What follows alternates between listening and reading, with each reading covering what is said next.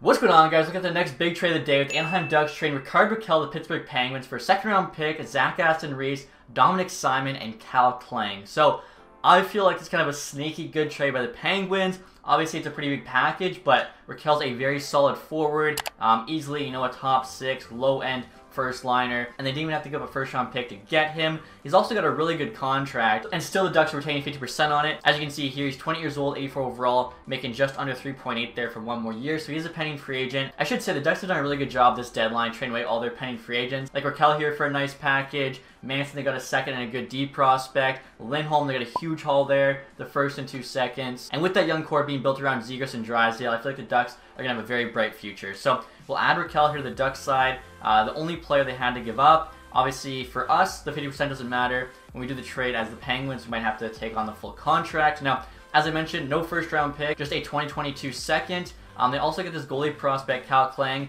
in game 1972 medium fringe. Uh, hearing some people talk about him, it's probably more like a medium starter. Like uh, there are some people pretty high on him. You can see there was a third round pick in 2020, and then on top of that, they get some decent depth forwards. I feel like the Penguins have enough, so it wasn't really a big hit to them. Uh, the first one here, how far down do we got to go? Uh, Zach Aston Reese, more of a defensive guy. Uh, 79 overall in game, fourth line forward there. And then after that, you have Dominik Simon, a bit further down, 27 78. Again, more depth guys, uh, but I think, you know, the Penguins, with trading away so many people, could use some dudes to fill into their lineup. So, looking at the two trades here, the Pittsburgh Penguins actually have a bit more value, but they want Rakell, seconds on the block, which has the most value, and we're getting Rakell at 50%, so I think they might say yes to this.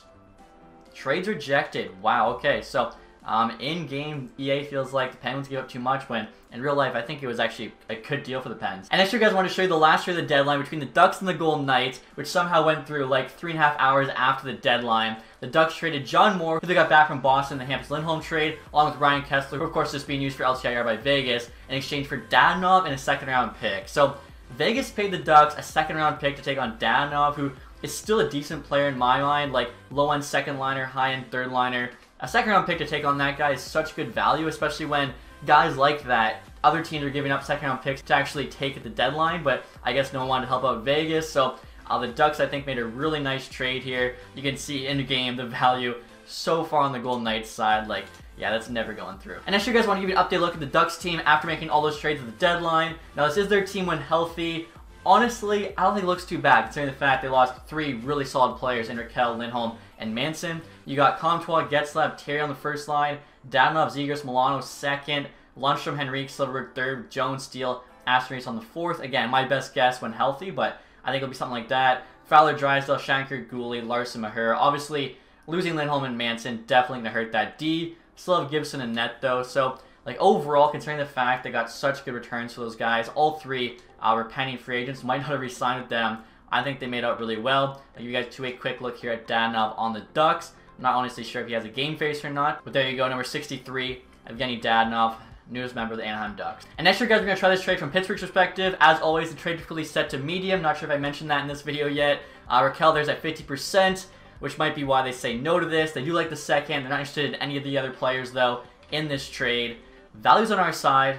Let's see what the Ducks say. Trade rejected, okay. I think it might go through if we take on his whole contract, but honestly, they might still say no because I'm the Ducks, I like Rakell in game here. They're considered a seller. Okay, that side does help us out. We'll see here. No retention.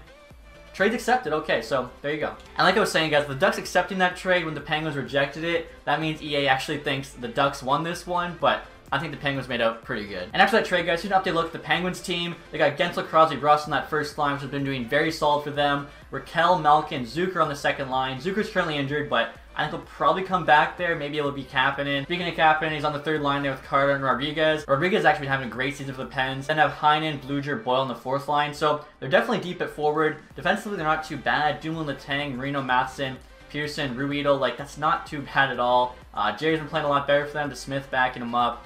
I think the Penguins could definitely go on a run this year. And next year, guys, we'll give you a first look at Rakell on the Pittsburgh Penguins. He's been on the Anaheim Ducks his entire career. There you go, 67 Rakell, mouth guard out.